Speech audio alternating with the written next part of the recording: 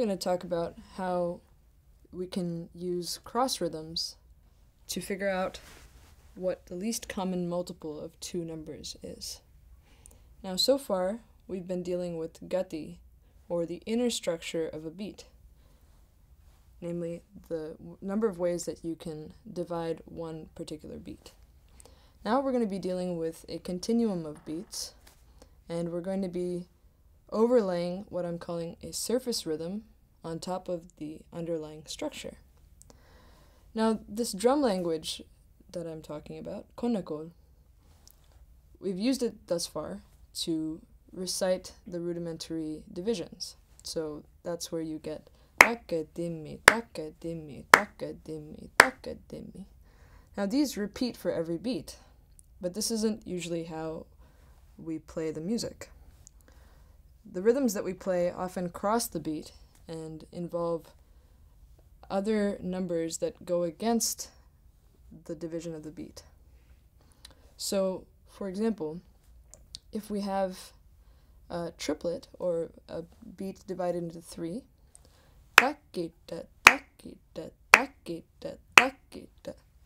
we won't always be reciting the takita. What we'll be doing is we'll be internalizing the feeling of one, two, three, one, two, three, one, two, three, one, two, three. And we may be reciting something else, which is the actual surface rhythm that we're playing. So I'll give one example, which is saying a phrase of four, or takademi, when you have an underlying structure or feel of three. So again, we'll use the drum syllables, or konakol, to establish the feeling of three but then we'll depart and express the surface rhythm. So again, the underlying structure is takita, takita, takita, takita. So keep this going in your head. Takita, takita, one, two, three, one, two, three. Takadimi, takadimi, takadimi, takadimi, takadimi, takadimi. So what happened there? We were still going at the rate of three aksharas or rhythmic units per beat. So you could still feel the one, two, three, one, two, three, one, two, three, one, two, three. In fact, even as I'm reciting the surface rhythm, you can count along in threes. However, I was expressing a surface rhythm which was in a length of four. And what that does is it overlays beyond one beat and eventually resolves when you get to reciting three of these phrases. Why does that work that way? So, again, notice how long it takes for me to repeat this.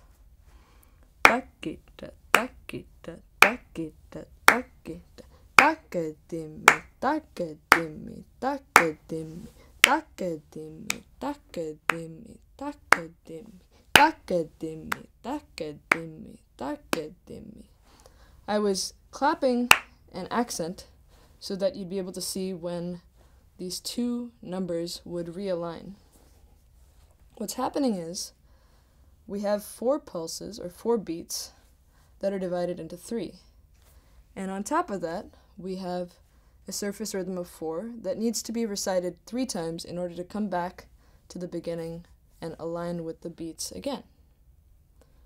You can look at the diagram to see what this looks like. The reason why this works is because 12 is the least common multiple of 3 and 4. It also so happens that 3 times 4 is 12. This works in a lot of cases, but it also doesn't work in some cases, and we'll get to that later.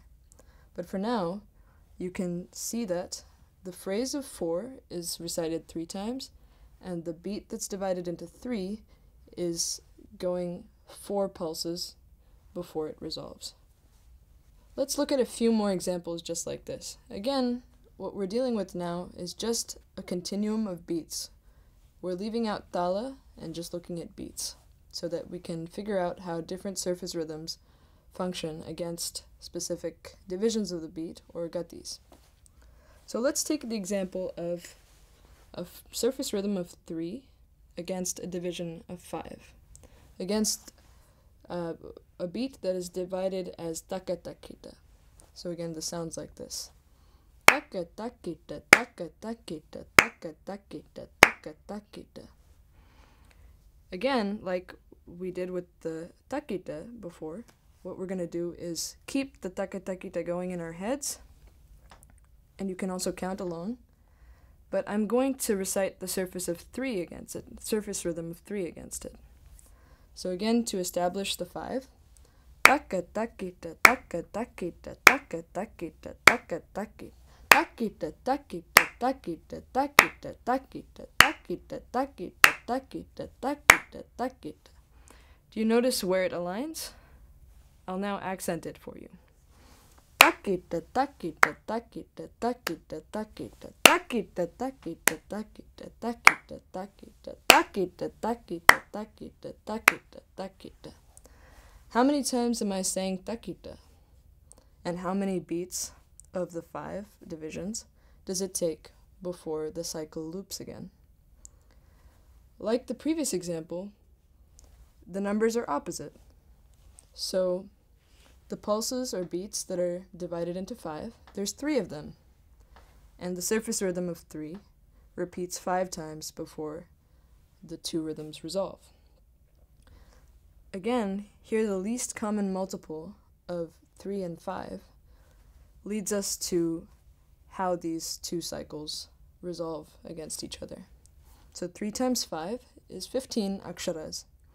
So if I'm reciting 3, I need 5 of the surface rhythm of 3 in order to resolve, and I need 3 of the beats divided into 5 in order to resolve, and both come out to 15 aksharas. Now another example is also in 5, but now we're dealing with a surface rhythm that's longer than the 5. Let's deal with 7. So again, we'll go back to the 5 and keep that going in your bodies.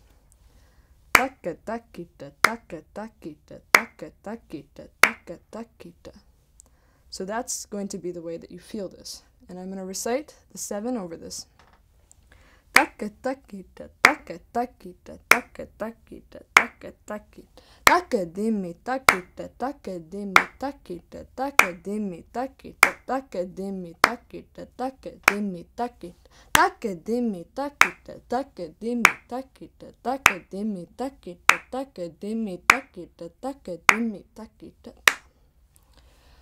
So you can see that a similar thing happened there, but it took a lot longer to resolve.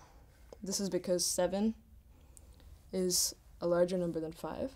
So you needed to take 7 beats that were divided into 5 in order for these two to resolve. And you had to say the phrase of 7 five times. Now 7 times 5 is 35. 35 is also the least common multiple of 7 and 5. And now we'll look at one final example, just so that you really understand that this can work with any two numbers. So let's take 3 again as our underlying structure. So this is.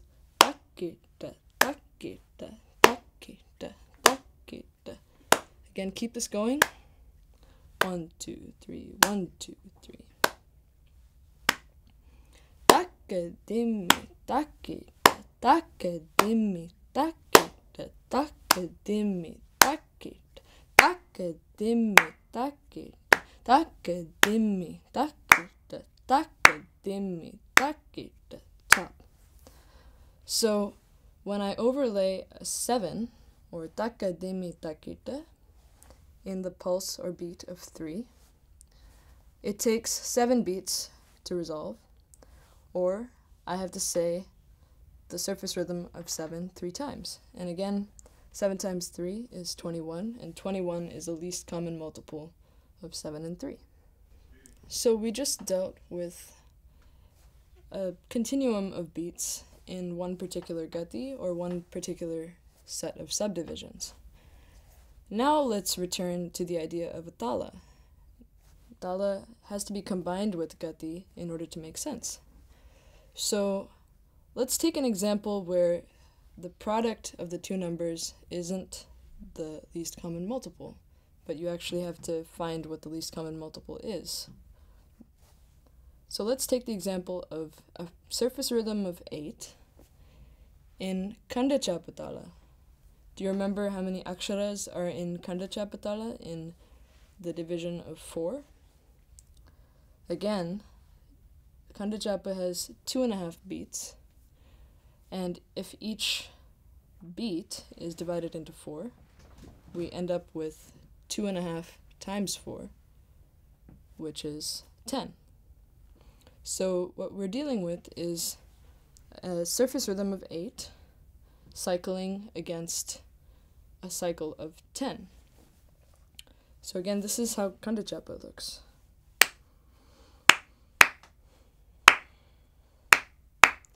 Now, instead of using two fours to make eight, I'm gonna make a more interesting rhythm. Let's say tam tataka jonu. So this is tam tataka jonu tam tataka jonu. One, two, three, four, five, six, seven, eight.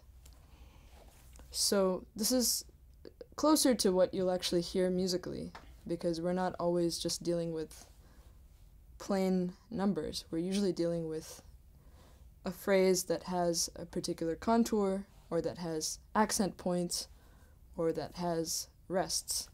So this is a great example of a musical phrase.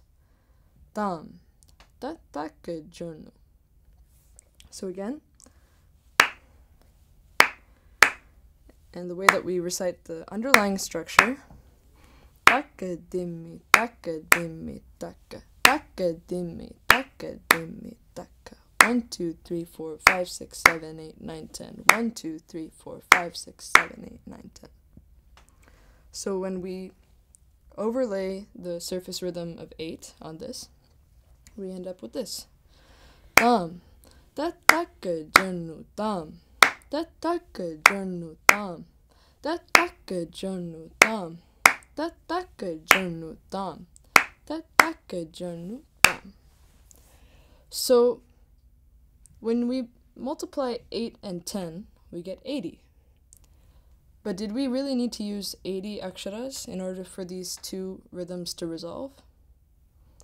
I'll recite it again. Tam, tataka janu tam, tataka janu tam, tataka janu tam,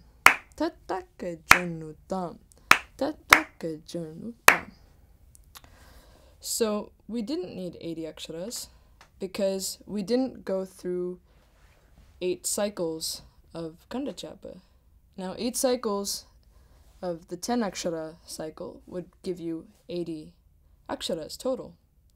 But what we did use was four cycles of Khanda Chapa, which is 10 times 4, which is 40. So, 40, because you can divide 40 by 8 and by 5 is the least common multiple because it's a lower number than 80, but it also works to divide both 8 and 5.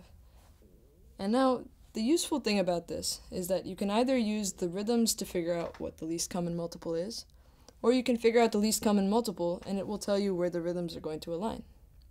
So again, Notice that I say the phrase of eight five times, and I go through the cycle four times.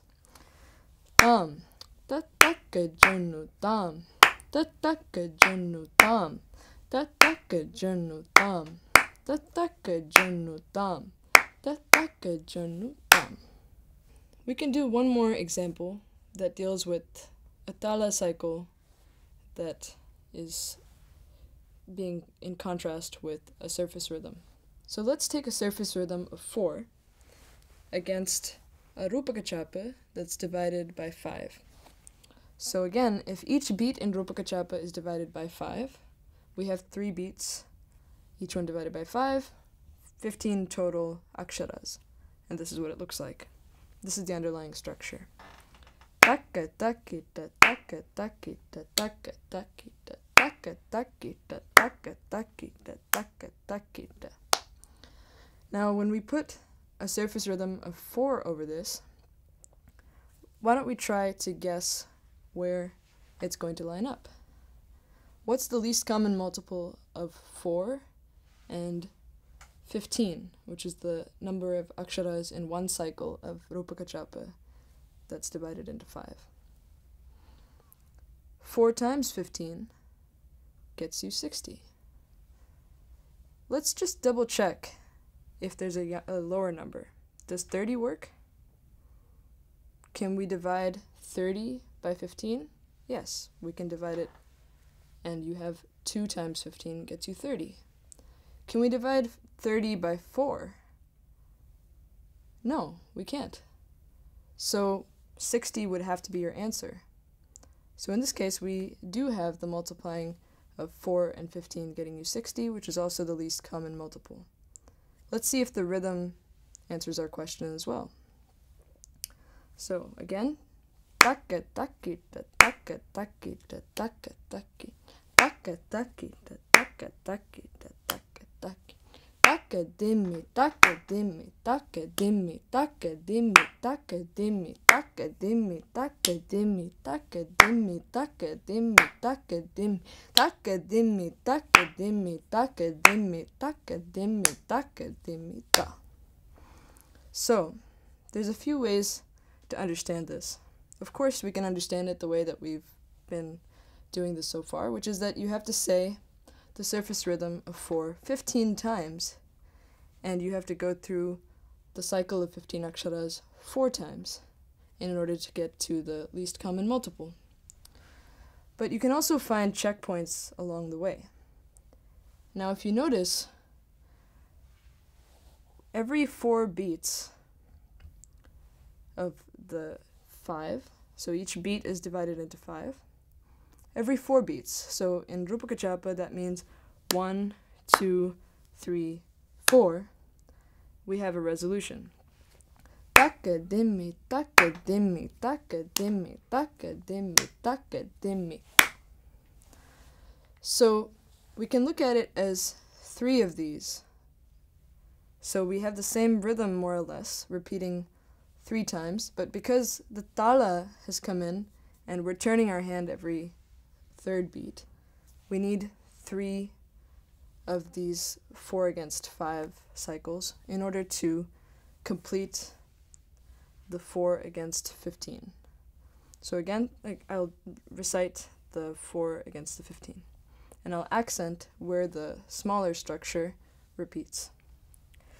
Taka dimmi, taka dimmi, taka dimmi, taka dimmi, taka dimmi, taka dimmi, taka dimmi, taka dimmi, taka dimmi, taka dimmi, taka dimmi, taka dimmi, taka dimmi, taka dimmi, taka dimmi. This way, you don't have to worry about counting 15 of the fours. You can think of them in smaller chunks of five. So five fours, and it resolves to a beat another five fours, and then it resolves to another beat, and then the final set of five fours, and it resolves to the end of the cycle, and we get back to the top.